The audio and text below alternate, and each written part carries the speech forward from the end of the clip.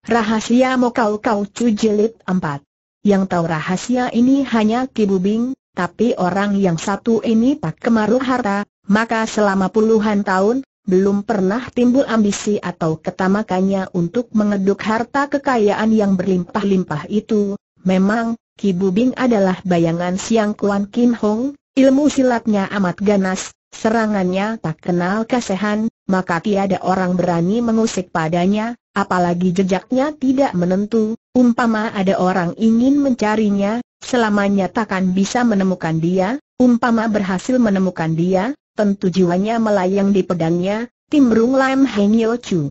Tapi belakangan dia memberitahu rahasia ini pada seseorang, oh, kepada siapa tanya Lam Heng Chu ketarik. Dia memberitahu rahasia ini kepada keturunan atau darah daging Siang Kuan Kim Hang satu-satunya, Siang Kuan Xiao Xian maksudmu benar, memang Siang Kuan Xiao Xian. Oleh karena itu bukan saja dia gadis tercantik di seluruh jagat ini, dia pula gadis yang terkaya di seluruh dunia, ditambah ilmu silat peninggalan Siang Kuan Kim Hong, siapa pun yang menemukan dia, bukan saja dapat menjulang tinggi menjadi manusia yang terkaya di seluruh kolong langit, kelak akan menjadi tokoh silat kosen yang tiada bandingannya, sudah tentu daya tariknya teramat besar bagi manusia yang tamat, sayang dia tidak mengetahui, karena dia tidak lebih hanya seorang gadis cilik yang baru berusia 7-8 tahun, oleh karena itu untuk melindungi dan menjaga gadis seperti ini, boleh dikata tak mungkin terlaksana, Mungkin saja, kalau orang lain tidak mungkin melindungi dia. Tapi Yap Kei pasti mungkin, Witian Bing tertawa dingin, katanya, umpama kata Yap Kei benar-benar tunas muda yang luar biasa bakatnya, ilmu silatnya sudah memuncak tingkat yang tiada bandingannya di seluruh jagat, hanya tenaga dia seorang, memangnya mampu menghadapi puluhan tokoh-tokoh kosen kelas wahid dari seluruh pelosok dunia ini yang terang dia tidak hanya seorang diri, sahut Lam Haini Macu tegas. Tidak seorang diri. Lalu dengan siapa memang tidak sedikit yang ingin membunuh dia dan merebut Siang Kuan Xiao Xian, tapi demi kesetiaan dan budi pekerti, tidak sedikit pula orang-orang yang bertekad melindunginya, kesetiaan dan budi pekerti masa lalu. Jangan lupa dia adalah pewaris Xiao Li Tam Hoa satu-satunya, dan yang pernah mendapat budi pertolongan Li Sin Hoan tidak sedikit jumlahnya, peristiwa sudah berselang sekian tahun, umpama orang-orang itu belum mati, tentu sudah melupakan hutang budinya, budi lebih cepat dilupakan orang daripada dendam kesumat, sedikitnya masih ada seorang yang tidak pernah melupakannya, siapa aku, sahut Lam Heng Chu. Seluruh hadirin tersentak kaget oleh jawaban pendek dan tegas ini. Jikalau kalian kira aku kemari juga ingin merebut Siang Kuan Xiao Xian, maka meleset jauh dugaan kalian. Lalu apa maksudmu mengundang kami kemari? Tidak lebih hanya satu permintaanku, sukalah pandang mukaku, batalkan niat kalian semula, kau minta kami melepaskan. Yapke begitulah, Jikalau kami tidak setuju kalau begitu bukan saja kalian lawan Yap Kei, kalian pun akan jadi musuhku, maka untuk keluar dari rumah ini, kukira bukan pekerjaan mudah, mendadak Witian Bing terloroh-loroh, serunya, aku mengerti, akhirnya aku mengerti, kau mengerti apa tiba-tiba terhenti loroh tawa Witian Bing, katanya, kau minta kami membatalkan niat, hanya karena kau ingin mencaploknya sendiri. Sengaja kau agulkan Yap Kei setinggi langit segagah naga, yang terangka sudah mencari akal jahat untuk menghadapinya, suara Lam Heng Chu berubah, katanya, Wipet ya, kau pandanglah aku, Witian Bing malah berpaling memuka kelukisan di pintu angin, katanya dingin, kau hendak gunakan Kau Hun Sip Tai Hoat dari kau untuk menundukkan aku, kau salah alamat, Aku hanya ingin memperingatkan kepadamu 30 tahun yang lalu, Aku pernah melepasmu tanpa kurang suatu apa, benar, 30 tahun yang lalu, aku hampir mampus di tanganmu, waktu itu kau bersumpah berat, asal aku melihatmu lagi, peduli apa pun yang kuperintahkan, kau tidak akan menolak. Kalau sebaliknya kau rela terbunuh mampus dengan badan tercacah hancur lebur, sampai di sini suaranya semakin seram menggiriskan. apa kau masih ingat akan sumpahmu dulu itu sudah tentu aku masih ingat, hanya, hanya apalagi waktu itu aku bersumpah terhadap Lam Heng Chu, aku inilah Lam Heng Chu kau bukan seru Tian Bing geram seraya mendelik beringas, Lam Heng Chu sudah lama meninggal, Kau kira aku tidak tahu Bakpa yang biasanya tenang seketika terkesima dan tersentak kaget mendengar kabar ini. Kata Witian Bing lebih lanjut, waktu berada di belakang gubuk rumput itu, kau tanya aku kenapa aku tidak mengenal suaramu. Waktu itu juga aku sudah tahu, kau pasti bukan Lam Hen Chu, maka dia tentu sudah meninggal, kalau tidak masakah aku berani kemari lama berdiam diri, Akhirnya suara misterius itu berkata kalem, Care bagaimana kau bisa tahu karena selamanya tak pernah kau mengajukan pertanyaan ini. Kenapa? Karena aku tak bisa membedakan suaranya, memang hanya aku laki-laki yang pernah melihat wajah aslinya, namun selamanya tak pernah aku mendengar sepatah kata pun suaranya, tawa Witian Bing amat aneh, katanya lebih lanjut, Walau kau tahu aku adalah laki-laki yang pernah melihat wajahnya dan masih hidup sampai sekarang, namun kau tak mungkin tahu apa yang pernah terjadi antara kami berdua, karena dia takkan memberitahu hal itu kepadamu. Lama suara misterius itu diam, akhirnya tak tahan dia bertanya, kenapa karena itu rahasia, tak ada orang di kolong langit ini yang tahu akan rahasia itu, Terunjuk cahaya cemerlang di wajahnya yang berseri lebar pada muka si orang tua ini, seolah olah kembali pada masa dulu, diliputi impian muluk-muluk di masa remajanya. Maka tercetuslah sebuah cerita yang tak ubahnya seperti dongeng zaman kuno. 30 tahun yang lalu, aku adalah pemuda yang suka menimbulkan gara-gara di mana aku berada. Suatu hari aku membuat onar di daerah Biao Kiang, Terpaksa aku melarikan diri ke atas gunung sembunyi di dalam hutan belantara, tak kusadari aku tersesat di atas gunung belukar, di Biausan, di mana-mana kau dapat bertemu dengan ular atau binatang liar, malah di sana sini kau bisa menghirup hawa beracun, untuk menghindari dan menyelamatkan diri dari Toho Aci yang selalu muncul pada maghrib, maka aku sembunyi dalam gua yang amat dalam, gua ini adalah sarang rase, karena lapar aku berburu rasi untuk mengisi perut, dan karena aku mengejar rase itulah akhirnya aku mengalami peristiwa yang selama hidup tak pernah kulupakan, sorot mata setajam golok tadi berubah lembut dan hangat, lalu dia lanjutkan ceritanya. Aku kejar rase itu ke dalam sehingga mencapai ujung gua, akhirnya ku temukan di belakang dinding gunung bagian bawahnya ada sebuah jalan keluar pula yang tersembunyi, setelah aku bersihkan semak-semak rotan, aku lantas keluar, tak lama kemudian ku dengar suara gemerciknya air, aku menyusuri aliran sungai ke depan, aku tiba di alam terbuka dan di luar gua merupakan alam permai laksana di tempat dewata, waktu itu kebetulan musim semi, ratusan kembang mekar bersama, pepohonan menghijau permai laksana permadani, air terjun mencurah ke bawah, air terasa hangat dan hawa pun sejuk. Maka di bawah pancuran air yang bening laksana sebuah jambangan itu, ku dapati seorang gadis sedang mandi, sampai di sini ceritanya berhenti, namun orang banyak tahu siapa gerangan gadis yang ditemuinya sedang mandi itu. Pandangan Matu Tian Bing terpantul di tempat jauh, seolah-olah dia melihat pula lembah pegunungan nan indah permai itu, seperti menghadapi gadis rupawan yang sedang keluar dari air. Waktu itu dia pun masih amat muda, rambutnya yang panjang terurai berwarna hitam legam, halus mengkilap, laksana benang sutra layaknya, terutama sepasang matanya yang jeli bening, selama hidupku belum pernah aku saksikan sepasang mata perempuan seindah dan seolok kedua matanya itu. Seperti orang linglung aku mengawasinya dengan kesima, seolah-olah aku sudah kehilangan kesadaran, Semula kelihatannya dia amat gugup dan malu serta marah, namun lambat laun gejolak hatinya mulai reda, kami lantas beradu pandang tanpa bersuara. Begitulah entah berapa lamanya kami beradu pandang tanpa berkesip, tiba-tiba terkulum senyuman mekar pada mukanya, bak kuntum kembang yang paling elok di seluruh jagat ini, mekar bersama pada raut mukanya, tanpa sadar aku maju menghampirinya, Tak kusadari bahwa di depanku adalah jambangan, lupa bahwa aku mengenakan sepatu. Boleh dikata apa pun sudah kulupakan, hanya satu keinginanku, memeluknya, hadirin yang mendengarkan mengunjuk rasa iri dan kepingin, mereka lantas membayangkan adegan mesra dan hangat serta hot. Lama sekali baru Tian Bing menghela napas, melanjutkan ceritanya, sejak permulaan kita tidak pernah mengucapkan sepatah kata, jadi siapa nama masing-masing kami tidak pernah saling tanya. Semua kejadian berjalan secara wajar, tanpa paksaan sedikit pun, tidak kikuk-kikuk.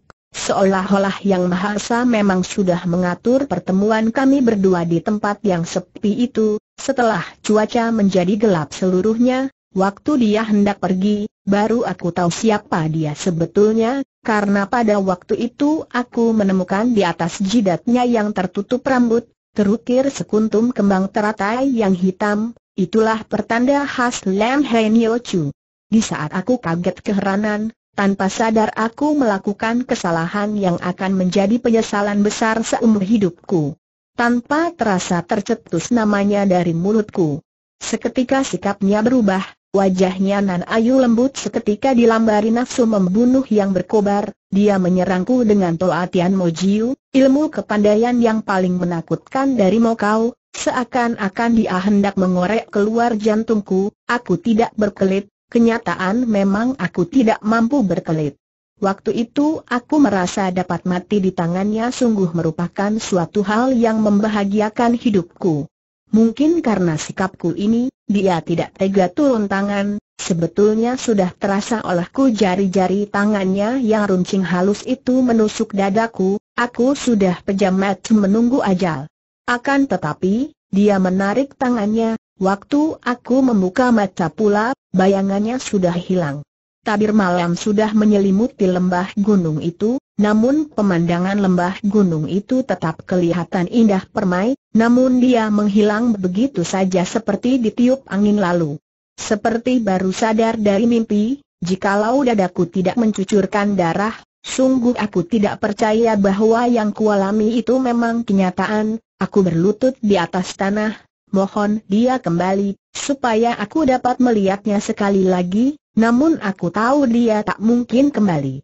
Oleh karena itu aku lantas bersumpah, asal aku bisa bertemu sama dia pula, apa pun yang dia perintahkan pasti takkan kutolak. Akan tetapi sejak hari itu, untuk selamanya aku tak pernah melihatnya lagi, selamanya tak, suaranya semakin lirih, lalu diakhiri dengan hembusan napas panjang itulah cerita yang elok, memilukan dan penuh diliputi suasana khayal dan misterius. Begitu indahnya sehingga kedengarannya mirip dongeng. Tapi hadirin tahu cerita ini bukan impian, juga bukan dongeng. Asal kau mengawasi mimik perubahan muka Tikoh dan Witian Bing, maka kau akan tahu bahwa cerita ini adalah kenyataan. Raut muka Tikoh yang semula dingin kaku dan bengis, kini berubah seperti diliputi kepedihan, kaget dan heran. Demikian pula rona muka Simkoh ikut berubah. Hanya patung Kean Imposat yang membawa setangkai dahan pohon yang liu masih tetap tersenyum di antara kepulan asap dupa. Entah berapa lama kemudian, Witian Bing sudah tenang kembali, katanya dingin, oleh karena itu aku tahu Lam Heng Chu sudah meninggal, aku pun tahu dari kau ada semacam kepandaian bicara dari perut, dengan menggunakan patung ini, kalian ingin menggertak aku, sungguh terlalu jenaka kalian. Simkoh tiba-tiba berkata, benar, memang kami bicara meminjam patung ke An Im ini, tapi apa yang kuucapkan sama saja hasilnya, hasil apa tanya Witian Bing. Jikalau kau masih ingin mengincar Siang Kuan Xiao Xian, aku tanggung kau akan menyesal, Witian Bing tertawa gelak-gelak, katanya, sejak umur 30 Wipet mengembara, Selama lima enam puluh tahun berkecimpung di kalangan Kang Ou, sampai sekarang belum pernah aku menyesal lantaran sesuatu yang pernah kulakukan, jadi kau bertekad merebutnya harapanku supaya kalian membagi semangkok nasi kepada orang banyak, jangan kau monopoli sendiri, baik. Mengingat hubunganmu dengan Chosuya kita dahulu, sekarang masih kuberi kesempatan kepadamu untuk keluar dengan masih hidup, selanjutnya tanya Witian Bing. setelah kau keluar dari rumah ini, selanjutnya kau adalah musuh besar Lem Hebun kita, maka kuanjurkan lekas kau persiapkan urusan belakangmu, mungkin sembarang waktu jiwamu bisa melayang, tawar suara Witian Bing, mengingat hubunganku dengan Lem Henyo Chu dulu, aku tidak akan menindas orang muda, apalagi terhadap kalian, hanya, hanya apa jikalau kalian benar-benar menentang kehendakku, belum tentu kalian bisa berumur panjang, dengan tertawa dingin tiba-tiba dia mencelat bangun, katanya kepada Bakpek, pertikaian kita sementara ini biarlah dianggap lunas, sejak sekarang kau lawan atau temanku, terserah kepadamu sendiri, habis bicara tanpa berpaling lagi dia beranjak keluar. Kabut tebal hawa dingin, jagat raya diliputi kepekatan malam. Menyongsong angin malam dingin, Witian Bing menghirup napas panjang, mendadak dia berseru, Hantin-hantin selalu membuntutinya, sahutnya, ada tahukah kau di mana letak Diau Hiang Wan sekarang juga kita sedang ke sana, turun tangan dulu lebih menguntungkan, tentunya kau pernah dengar perkataan ini, tapi Yap Kei, Yap Kei kenapa sekarang Yap Kei tentu sudah bersiaga, jikalau sekarang kita menggunakan kekerasan, peduli siapa kalah atau menang, jelas kedua pihak akan mengalami rugi, bukankah pihak lain akan memungut hasilnya? Siapa bilang kita hendak bentrok sama dia? Jadi bukan sudah tentu tidak, terunjuk senyuman licik selicin rasa di ujung mulutnya, katanya, secara baik. Baik kita ke sana memberikan kabar, langsung bersahabat dengan dia, bersinar mata Hontin, katanya tersenyum, karena dulu Xiao Li Tam Hoa pernah menanam budi kepada kita, kedatangan kita bukan mencari story, tapi untuk membalas budi, sedikit pun tidak salah, bahwa Lam Heng Chu sudah meninggal, orang lain tidak perlu dibuat khawatir, kita harus menghasutnya supaya menggunakan kesempatan baik ini, turun tangan lebih dulu menyingkirkan orang-orang yang punya maksud jahat terhadapnya, dia orang cerdik. Pandai, Pasti. Gampang.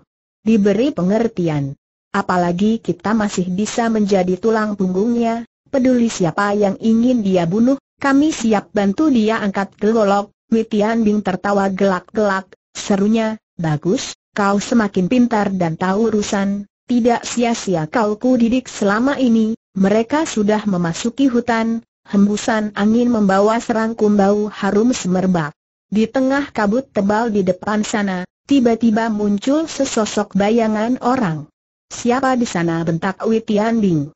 Inilah aku sahut orang itu beranjak maju sambil menunduk, kiranya Sebon Capsa. Seketika Witian Bing menarik muka, bentaknya, siapa suruh kau kemari Pecu ada urusan penting yang perlu kulaporkan kepada kau orang tua, sahut Sebon Capsa. Urusan apa sebentar sebun capsa ragu-ragu, lalu maju mendekat, aku tahu Yap Kei, suaranya mendadak menjadi lirih. Terpaksa Witian Bing maju mendekat. Selama hidupnya entah berapa banyak orang yang pernah dibunuhnya, setiap waktu selalu bersiaga khawatir dibunuh orang, namun sekarang mimpi pun tak terpikir olehnya, murid terkecil yang paling disayang ini sudah mempersiapkan sebatang golok untuk menusuk ke dadanya. Badan kedua orang sudah berhadapan dekat sekali, Witian Bing menyentaknya pula, ada urusan apa lekas katakan terpaksa Sebon Capsa menjawab, aku ingin kau mampus mendengar kata mampus baru Witian Bing benar-benar tersentak kaget, namun berkelit pun sudah tidak keburu lagi. Tahu-tahu sebatang golok dingin sudah menusuk lewat jaket kulitnya amblas ke dalam dadanya. Sampai bagaimana rasanya kematian itu seperti sudah dinikmatinya. Untung pada saat-saat gawat itu mendadak Sebon Capsa juga menjerit ngeri dan roboh terkapar. Golok di tangannya berkilauan berlepotan darah segar, darah Witian Bing. Baru sekarang Witian Bing bergetar menahan sakit, baru sekarang dia benar-benar ketakutan menghadapi ajal.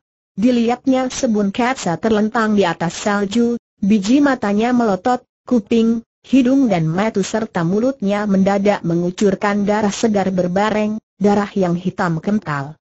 Waktu Witian Bin berpaling ke arah Hontin, Hontin berdiri terkesima saking kagetnya.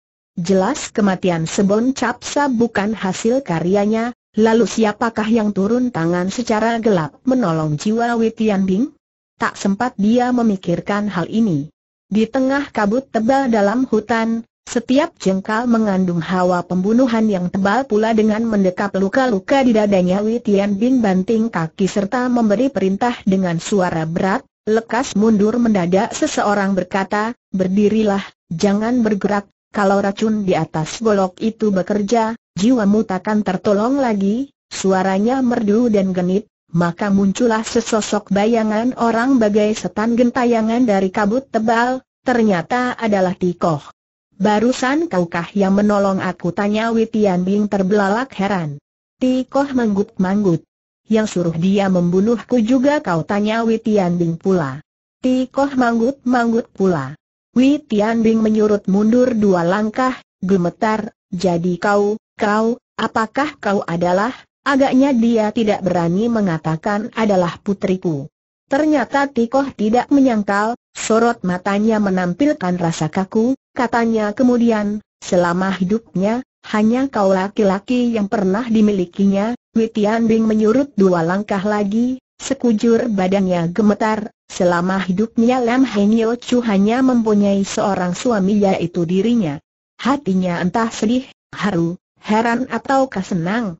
Berkaca-kaca tikoh, katanya, oleh karena itu aku tidak akan berpeluk tangan melihat jiwamu terancam, memangnya manusia mana di dunia ini yang tega melihat ayahnya mati dibunuh orang. Apa benar dia putri kandungnya? Hampir Hui Tian Bing tidak berani percaya, namun tidak bisa tidak dia harus percaya.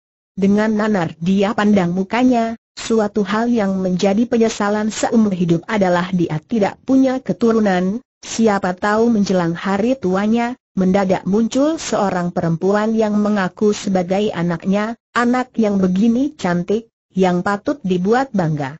Tanpa terasa berlinang air matanya, terlupakan olehnya bahwa barusan dia membuat rencana untuk membunuhnya, meminjam tangan orang lain darah lebih kental dari air, binatang buas seperti harimau pun tak pernah makan anaknya sendiri, apalagi manusia. Dengan gemetar, tangan Wei Tianbing terulur, seakan-akan dia ingin mengelus kepala putrinya, meraba raut mukanya, tapi dia tidak berani. Pada saat itulah dari luar hutan menerjang masuk seseorang yang mengawasinya dengan pandangan kejut dan terkesima, ternyata Sim Koh pun menyusul datang. Tikoh menghela napas, katanya, sebetulnya kau tak usah kemari, dengan kencang Sim Koh gigit bibirnya, mendadak dia berkata dengan suara keras, kenapa tidak boleh kemari? Jikalau benar dia ayahmu, berarti kakekku pula, kenapa aku tidak boleh menemui kakekku Tian Bing tertegun, kiranya bukan saja dia sudah punya anak, malah sudah punya cucu. Darah sekujur badannya serasa mendidih, Hampir tak tertahan ingin dia menggembor sekeras-kerasnya. Sigap sekali mendadak Simkoh turun tangan membalikan badan, sehingga tidak terduga sama sekali, dalam sekejap tujuh hiatsu di dadanya sudah tertutup. Hantin hanya melongo di tempatnya, sedikit pun dia tidak memberi reaksi. Melihat Simkoh turun tangan, hendak menolong pun dia sudah tak sempat lagi. Siapa tahu Simkoh malah membimbing Witian Bing, katanya, Golok itu sudah berlepotan darah, tentunya dia sudah keracunan, lekas gendong dia dan ikuti aku. Kiranya tutukan hiatsu yang dia lakukan adalah untuk menolong jiwa Witian Bing. Hantin menghela napas, apa yang dia saksikan dan dia dengar hari ini, untuk selama hidupnya takkan pernah dilupakan. Sebesar ini dia hidup, belum pernah dia alami peristiwa aneh seperti ini. Asap dupa di ruang pemujaan masih mengepul tinggi, sehingga pernapasan terasa sesak, asap tebal di dalam rumah tak ubahnya seperti kabut dingin di luar hutan. Pelan-pelan Hontin letakkan Witian Bing di atas pembaringan. Di depan meja pemujaan terdapat beberapa kasur bundar, seorang gadis berjubah sutra dengan rambut tergelung tinggi di atas kepala duduk di kasur bundar itu, kelihatan amat cantik. Alisnya turun, metle, terpejam, duduk bersimpuh tak bergerak, mirip pendeta Samadi. Di sekian banyak orang meranjak masuk, Ternyata dia tidak ambil peduli seperti tidak melihat tidak mendengar tapi tak tertahan Hontin berpaling mengawasinya. Laki-laki mana yang takkan kerancingan melihat perempuan cantik duduk di depannya, kecuali dia banci. Yang nyata Hontin adalah laki-laki sejati. Sekilas dia memandang, tak tertahan dia melirik lagi. Mendadak terasa olehnya gadis ini mirip sekali dengan seseorang. Mirip Tingling. Hang Long Kun yang sudah malang melintang di Kang Ou, kenapa mendadak bisa berubah jadi perempuan? Sudah tentu Hontin tidak gampang percaya begitu saja, namun semakin dipandang semakin mirip, umpama perempuan ini bukan Tingling, pasti dia adalah adik Tingling. Lalu di mana Tingling berada? Jikalau dia sudah dibunuh Tikoh, masakah kakak atau adiknya bisa duduk begitu anteng di sini? Han Tin bukan seseorang yang gampang ketarik pada sesuatu, biasanya dia pun tidak suka mencampuri urusan orang lain, tapi sekarang dia benar-benar merasa aneh dan ketarik. Itulah sifat manusia dan Hon Tin memangnya seorang manusia. Tikoh dan Sim Koh sedang sibuk mengobati luka-luka Witian Bing, seperti tidak memperhatikan dirinya. Tak tertahan Hon Tin maju mendekat, panggilnya dengan suara lirih, Tingling, Gadis jubah sutra tiba-tiba angkat kepala melirik kepadanya, tapi seperti tidak mengenal dirinya, sahutnya geleng-geleng kepala, aku bukan Tingling, lalu kah siapa tanya Hantin. Aku adalah Ting Hun Pin, Ting Hun Pin. Agaknya Hantin pernah mendengar nama ini, bukankah Ting Hun Pin adalah kekasih Yap Ke? Bagaimana mungkin paras mukanya mirip dengan Tingling? Memangnya apa sangkut pautnya dengan Tingling? Kini gadis jubah sutra sudah menunduk dan pejamkan matanya lagi. Tikoh justru sedang perhatikan gerak-geriknya. Begitu Hontin berpaling, seketika dia bentrok dengan sorot mata Tikoh, sinar matanya yang lebih tajam dari ujung golok. Sedapat mungkin Hontin tenangkan diri, katanya tertawa nyengir, beliau sudah lolos dari bahaya, bukan Tikoh manggut-manggut, mendadak dia bertanya, Menurut pandanganmu dia Ting Ling atau Ting Hang Tin sukar aku mengenalnya, sahut Hon Tin. Jawabannya memang jujur, dia benar-benar tidak bisa membedakan. Seharusnya kau bisa membedakan, siapa pun harus bisa membedakan bahwa dia 100% adalah perempuan, sekarang dia memang seorang perempuan, ujar Tin. Memangnya dulu bukan aku hanya heran, ujar Tin tertawa. Kenapa Tingling mendadak hilang, kau amat memperhatikan dia, Hantin meraba hidungnya yang penyok, katanya, dia memukul ringsek hidungku, kau ingin menuntut balas tiada orang yang bisa lolos setelah dia membuat ringsek hidungku, mungkinkah dia mati? Ku kira dia bukan laki-laki yang bisa cepat mati, tapi kenyataan dia sudah mampus, maksudmu Tingling sudah mati tidak salah, tapi Ting Hun Pin masih hidup, lama Tikoh menatapnya, Akhirnya berkata, kau sudah melihat jelas Hantin tertawa pula, sahutnya, aku tak bisa membedakan, aku hanya mereka-reka saja. Apa pula yang berhasil kau reka walau Yap Kei seorang cerdik pandai, tapi terhadap kekasihnya yang asli, tentunya dia takkan berjaga-jaga atau curiga, bagus sekali akalmu, jikalau ada seseorang mampu membokong Yap Kei, lalu merebut Siang Kuan Xiao Xian dari tangannya, maka orang itu pasti adalah Ting Hun Pin, bagus sekali uraianmu, sayang sekali Ting Hun Pin pasti tak sudi membokong Yap Kei, oleh karena itu, karena itu bagaimana jika ada seseorang yang bermuka dan berperawakan mirip Ting Hun Pin, maka dia bisa menyamar jadi Ting Hun Pin, bukankah orang ini bakal menjadi alat yang paling berguna dan manjur untuk menghadapi Yap Kei bagaimana jikalau orang itu seorang laki? Laki peduli dia laki-laki atau perempuan, tiada bedanya, sahut Hontin dengan tertawa. Kabarnya ilmu tata rias dari Lam Heng Chu tiada bandingannya di seluruh jagat dan lagi punya care untuk mengekang denyut nadi kulit daging tenggorokan orang sehingga suara orang itu berubah, dingin suara tikoh, tidak sedikit yang kau tahu, jikalau orang ini tidak mau menurut, juga tidak menjadi soal, karena Lam Heng Chu masih punya semacam care untuk mengekang dan menguasai daya pikiran seseorang yang dinamakan Kao Hun Sip Tai Hoat. Lama Tikoh menatapnya lekat-lekat, katanya pelan-pelan, Kabarnya orang-orang Kang Ou memanggilmu Cuicu, Bur atau Gurdi, ah, tidak berani aku menerimanya, kabarnya peduli betapa keras betok kepala seseorang. Kau tetap bisa mengebornya sampai bolong, itu hanya kabar angin belaka, tapi kabar angin itu agaknya bukan bualan belaka, umpama benar aku punya nama, betapapun aku tetap adalah didikan Wipatya sendiri, kau tak usah memperingati aku, aku tahu kau adalah orang kepercayaannya. Hantin menghela napas lega, katanya, cukuplah bila Hujin mengerti akan hal ini, legalah hatiku, bahwa aku membiarkan kau ikut dia kemari, sudah tentu aku tidak perlu pakai todeng aling-aling lagi kepadamu, banyak terima kasih.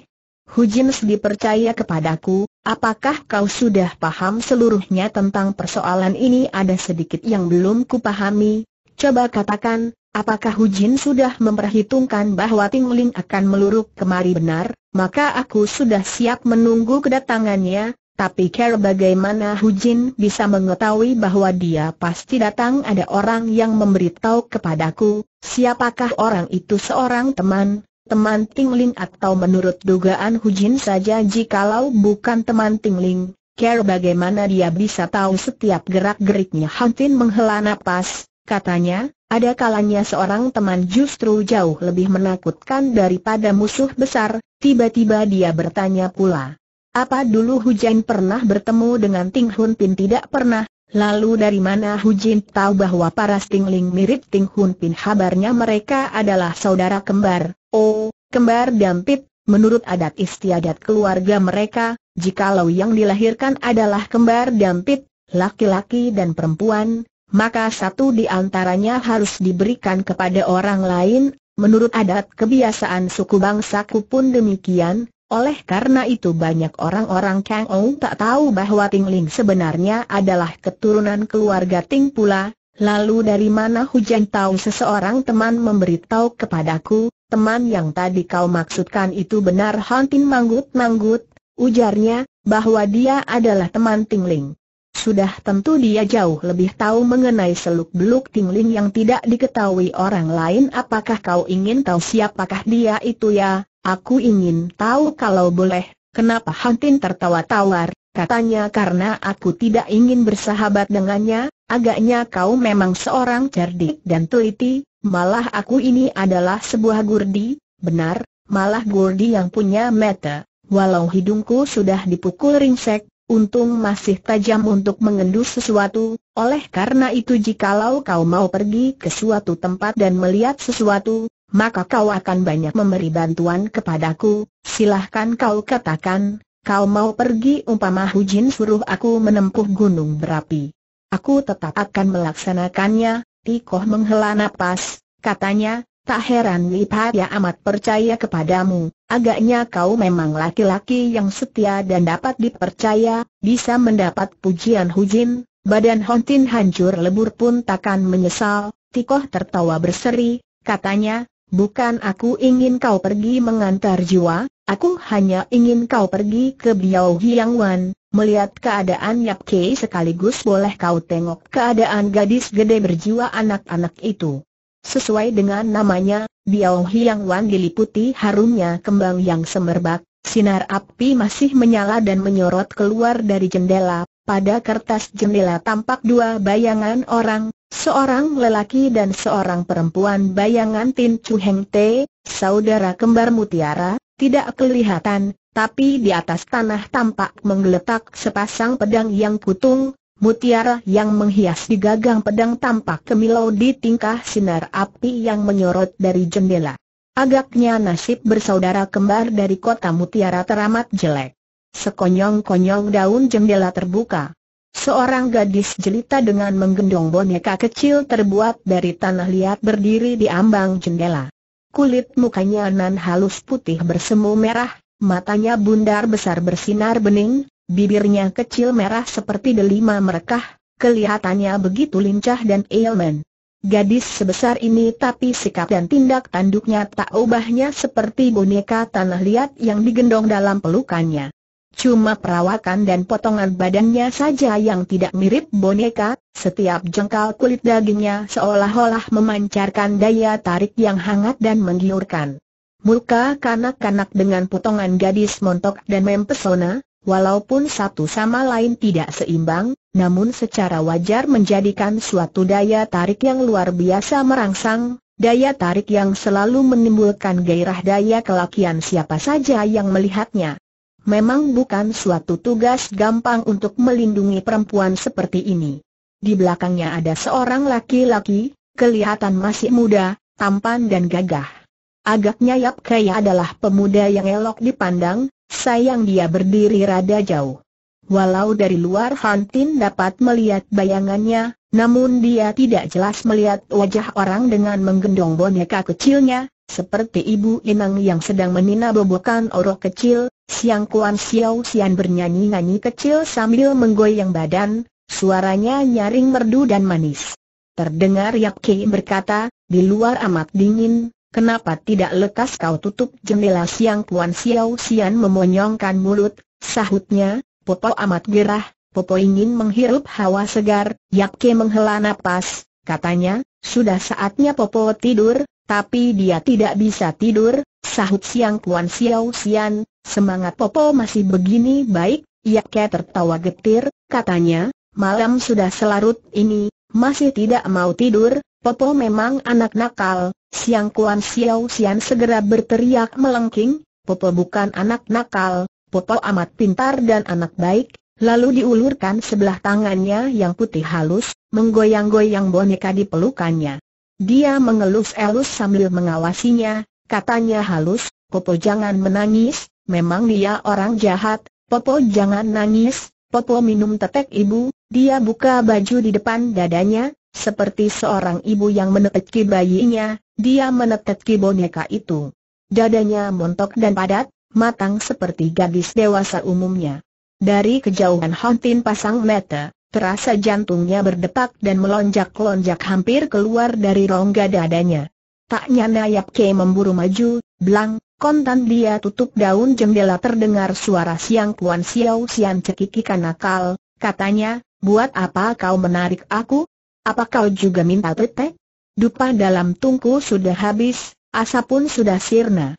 Wipatya rebah memejamkan mata, Rona mukanya merah, seperti sudah tertidur.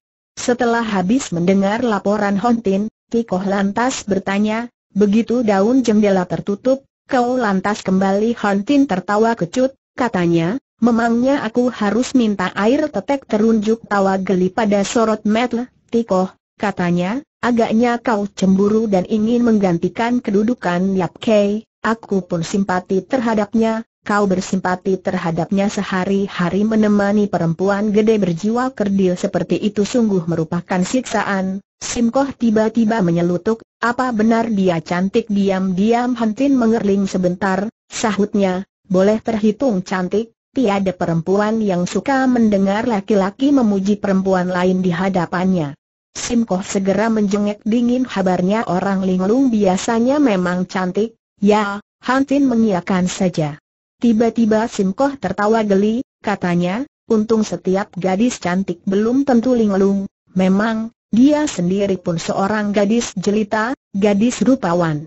Tiba-tiba Tikoh bertanya, apakah hanya mereka berdua yang berada di Biau Hiang Wan dari depan sampai ke belakang dan sekitarnya sudah kuperiksa, memang tiada orang lain, agaknya tiada, atau memang tiada memang tiada, sahut Hantin setelah bimbang sebentar.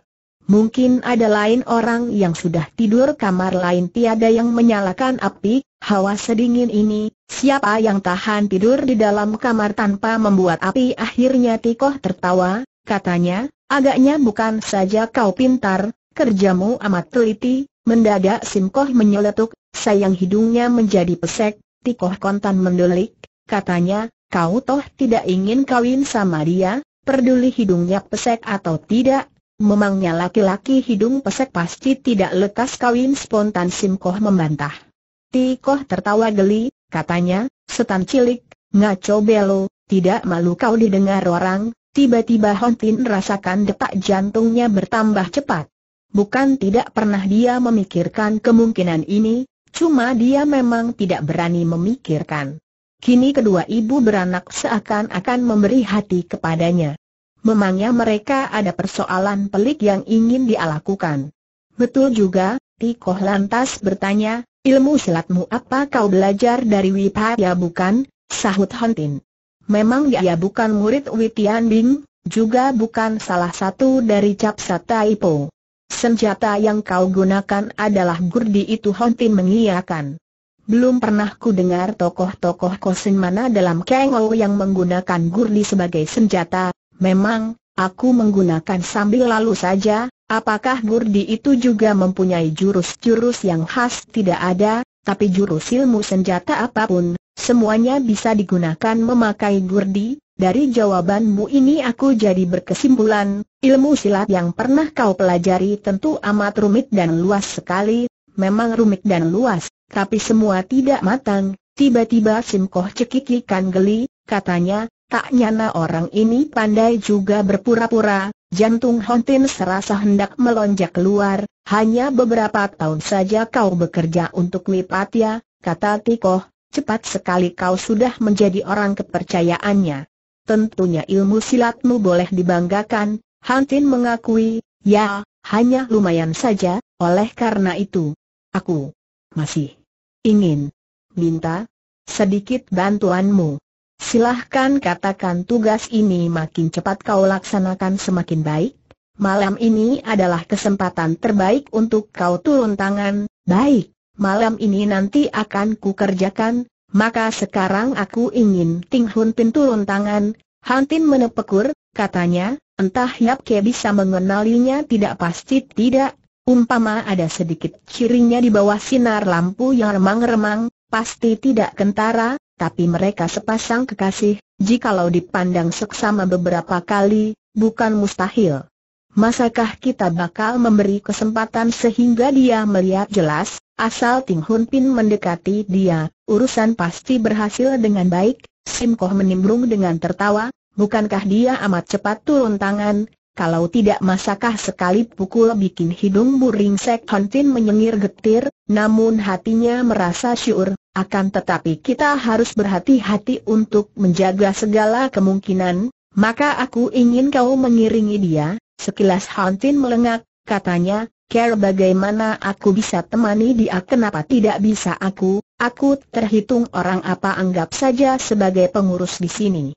Bawa dia ke Yap Kei, karena Ting Hun Pin belum pernah kemari, sudah tentu harus ada orang yang menunjuk jalan, Hantin manggut-manggut sambil menghela napas, Hujin memang bisa mengatur dengan baik, Tikoh tertawa, katanya, kalau tidak bisa mengatur dengan baik, Bagaimana berani menghadapi Yap Kei sekarang hanya ada satu kekhawatiranku, apa yang kau khawatirkan khawatir akan pisau terbang Yap Kei, kau takut yang ku khawatirkan Ting Hun Pin yang satu ini tidak bisa membunuhnya sekali turun tangan, mungkin punya kesempatan balas menyerang, jawaban Tikoh dingin dan meyakinkan, jangan lupa aku pun mempunyai pisau, tiada orang bisa hidup oleh pisauku, mendadak tangannya bergerak, tering, Sebilah pisau tahu. Tahu jatuh di hadapan Tingling. Sebilah pisau kemilau warna hijau. Metu, Tingling seketika berubah lebar, dengan mendorong kaku mengawasi pisau ini, ambil pisau itu dan sembunyikan di dalam lengan bajumu, Tikoh memerintah. Tingling segera menjemput pisau itu dan disembunyikan di dalam lengan baju. Sekarang angkat kepalamu, pandanglah orang ini, Tikoh menuding Hontin. Ting Ling lantas angkat kepala, matanya mendelong mengawasi Tin. Kau kenal orang ini Ting Ling manggut-manggut. Kau harus ikut dia. Dia akan membawamu mencari Apke yang adalah laki-laki yang tidak kenal budi dan tidak setia kawan. Kau dibuang secara semena-mena, mencari gadis lain di depan hidungmu, maka begitu kau berhadapan dengan dia, tusuk saja sampai mampus dengan pisaumu, lalu bawa gadis itu kemari, aku pasti akan membunuhnya, serta membawa gadis itu kemari, Tingling mengulang perintah. Sekarang juga kau berangkat, Tingling manggut-manggut mengulang perintah Tikoh. Terunjuk mimik aneh pada raut mukanya, seolah-olah hambar, tapi juga seperti amat menderita. Kenapa tidak lekas kau pergi sentak Tikoh? Sekarang juga aku pergi, mulut Tingling menjawab, namun dia tetap bersimpuh di tempatnya tanpa bergeming Simkoh menghela napas, katanya, agaknya dia memang teramat cinta terhadap Nap Kei, urusan sudah berlarut demikian jauh, namun dia masih tidak tega membunuhnya, Tikoh menyeringai dingin, katanya, dia pasti pergi tiba-tiba dia tepuk-tepuk tangan, sebuah pintu di samping tiba-tiba terbuka sendiri, seorang melangkah masuk pelan-pelan. Itulah laki-laki berusia 30 tahun, mengenakan jubah kulit rase yang mahal, bagian luarnya ditambahi baju lengan pendek. Jelas sekali gayanya seperti orang dagang. Orang ini ternyata HWIHU si rase terbang NIO Tian. Mendadak muka Tingling berkerut ketakutan badan pun gemetar keras. Nio Tian mengawasinya dingin, tidak tampak mimik apa-apa pada mukanya. Sebilah pisau menancap di dadanya, bajunya pun berlepotan darah. Kau kenal orang ini tanya Tikoh. Tingling manggut-manggut, mukanya pucat dan semakin ketakutan. Sudah tentu dia kenal orang ini, karena ingatannya belum lenyap. Sekarang dia sudah mampus, apakah kau ingat, kaulah yang membunuhnya, ya, ya, akulah yang membunuhnya, sebetulnya dia teman karibmu, namun kau membunuhnya, menjadi setanda akan membalas dendam kepadamu, kau, kau yang menyuruhku membunuh dia bantah tingling. Sekarang ku suruh kau pergi membunuh Yap Kei, kau mau pergi tidak aku, baiklah aku pergi, sekarang juga kau pergi, benar, sekarang juga aku berangkat, sahut Tingling. Benar juga pelan-pelan dia berdiri, lalu beranjak keluar, tapi badannya kelihatan masih gemetar. Tunggu di luar, tunggu Hontin yang akan membawamu, aku akan menunggu di luar. Hontin akan membawaku, pergi membunuh Yap Kei, sahut Tingling. Setelah Tingling di luar pintu, baru Tikoh berpaling dan tertawa kepada Hontin, katanya, sekarang kau harus tahu, Siapakah teman baiknya itu? Hantin hanya menyengir kecut sambil mengawasi Nio Tian. Kau tidak mengenalnya? Tanya Tikoh. Nio Tian berkata dingin, dia tidak mengenalku, dia tidak ingin bersahabat dengan aku, tiba-tiba tangannya terbalik mencabut pisau di dadanya terus dibuang ke lantai. Baru sekarang Hontin melihat jelas pisau itu hanya gagangnya saja. Terdengar kret, Sebatang pisau tajam menjepret keluar dari gagangnya, hanya sedikit tekan saja, tajam pisau itu kembali melesak masuk ke dalam gagangnya pula, kiranya pisau ini hanya alat permainan belaka yang tidak mungkin bisa membunuh orang. Hantin menghela napas, katanya, kalau ada pisau semacam ini dalam dunia ini, tidak heran ada teman baik seperti dirimu, tapi lebih baik kau selalu ingat, Tikoh memperingatkan, Pisau semacam ini dan teman seperti itu, bukan tiada gunanya sama sekali. Setelah menyusuri ratusan pucuk pohon kembang BWE, akhirnya sampai di Biau Hiangwan. Selama ini Tingling mengintil di belakangnya tanpa bersuara, selangkah Hontin bertindak, selangkah pula kakinya bergerak. Jikalau Hontin tiba-tiba berhenti, Tingling pun seketika berhenti. Tiba-tiba Hontin membalik badan sambil menatap orang, temanmu Sebon Capsa sudah mati, Sebon Capsa sudah mati Tingling mengulang perkataannya. Kau tidak ingin tahu oleh siapa dia menemui ajalnya Aku tidak ingin tahu siapa yang membunuhnya, sahut Tingling. Tapi jika kau adalah temannya, pantas kau menuntut balas sakit hatinya, kalau aku memang teman baiknya, aku harus menuntut balas sakit hatinya, Begitulah dia selalu mengulang perkataan orang yang mengajaknya bicara, cuma kau mungkin takkan tahu apakah dia benar-benar sudah memahami maksudmu. Orang sepintar kau akhirnya dikendalikan orang juga, sungguh aku tidak mau percaya, dengan ujung matanya dia melirik kepada Tingling. Tidak terunjuk mimik apa pun di muka Tingling. Hantin menghela napas, katanya, di depan ada sinar lampu, nah, di sanalah Biao Hiang Wan, Tingling mengiyakan. Yap Kei berada di sana. Apa benar kau tega turun tangan? Sebetulnya tak perlu kau membunuhnya, ya, memang tidak perlu, sahut Tingling. Kau boleh menutup hiatunya saja, sehingga dia tidak bisa berkutik lagi, aku bisa membuatnya tidak berkutik. Segera aku akan membawa gadis itu pergi ke tempat jauh, supaya dia tidak melihat Napke lagi, biar dia tidak melihat Napke lagi, maka selanjutnya kau bisa hidup berdampingan dengan Napke. Dilihatnya sorot mata, Tingling tiba-tiba memancarkan sinar terang.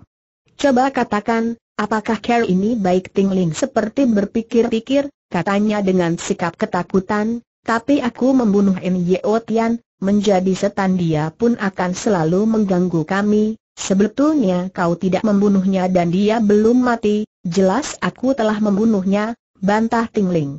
Hantin keluarkan pisau mainan itu, katanya, dengan pisau ini kau membunuhnya, Tingling manggut-manggut. Pisau ini hanya mainan yang tidak bisa membunuh orang, coba kau lihat, dengan tersenyum dia angkat pisau itu terus menusuk ke dada sendiri. Senyum yang menghiasi mukanya seketika kaku. Tadi hanya sedikit tekan, tajam pisau menyurut masuk ke dalam. Tapi sekarang batang pisau yang tajam ternyata tidak mau menyurut masuk pula. Sedikit dia gunakan tenaga, ujung pisau sudah menusuk melukai kulit dagingnya. Walau tidak dalam namun darah sudah bercucuran.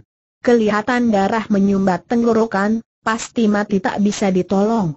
Ingat akan pepatah ini, Seketika sekujur tubuh Hontin dingin. Tiba-tiba didengarnya seseorang berkata dingin, lebih baik kau berdiri tidak bergerak, bila racun menjalar pasti melayang jiwamu. Hantin tidak berani bergerak, dia sudah mendengar suara Simkoh. Betul juga dilihatnya Simkoh melangkah dari hutan, di belakangnya ada seseorang ternyata N.I.O. Tian dengan dingin Simkoh mengawasinya, katanya, pisau itu adalah pisau iblis, walau tak bisa membunuh orang lain, tapi pasti bikin kau mampus. Mio Tian menyeringai dingin, jengeknya, kalau di dunia ada manusia seperti tampangmu, maka ada pula pisau seperti itu, Simkoh berseri tawa, katanya, sedikit pun tidak salah, pisau macam ini memang khusus untuk menghadapi orang seperti kau, tersendat perkataan Han Tin. Di tenggorokan, aku, aku hanya Simkoh menarik muka, dengesnya, kau hanya ingin menjual dan mengkhianati kita, maka kau harus mampus harap nona suka pandangmu kau ipet ya, ampunilah jiwaku sekali ini, kau masih ingin hidup Hontin manggut-manggut, keringat dingin gemerobios.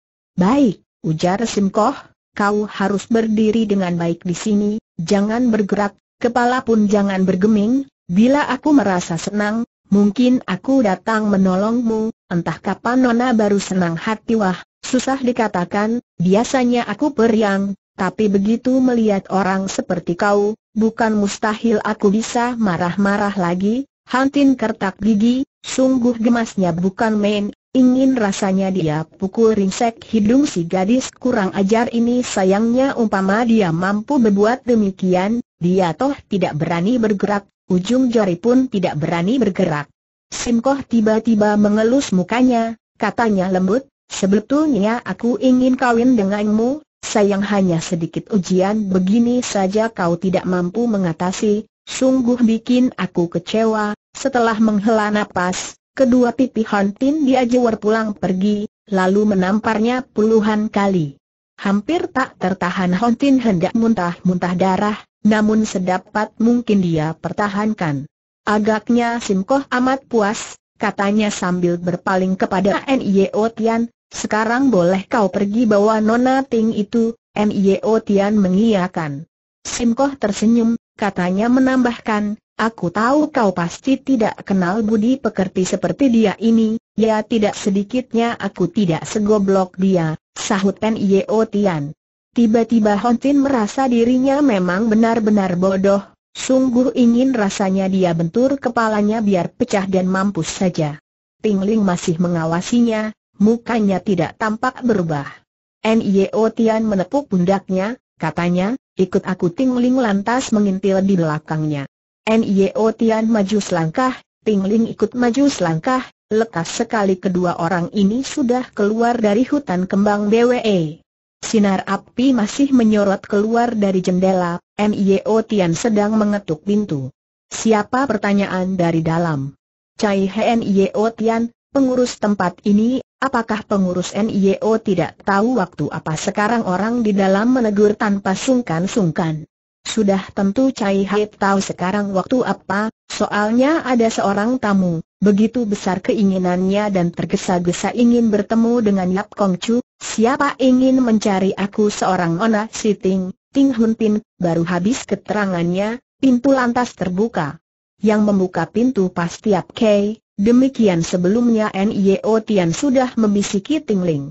Cahaya lampu dari dalam kebetulan menyorot mukanya. Seorang pemuda berparas tampan dengan dandanan sederhana membuka pintu, seketika dia berdiri menjublek di ambang pintu, mimiknya heran, kaget dan senang, benarkah kau? Bersambung ke jilid 5.